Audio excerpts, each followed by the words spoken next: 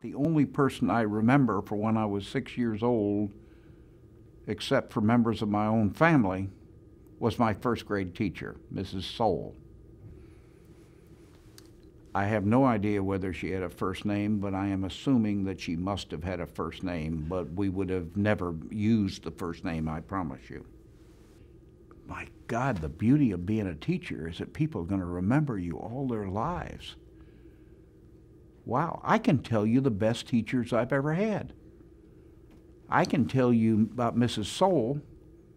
I can tell you about Mrs. Carnwright in fourth grade. I can tell you about Sam Hayes at the Harvard Business School.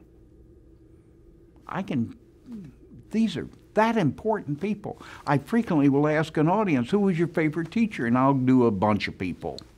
And then I want to know, well, why is that person, it's normally a she, why is that person your favorite teacher?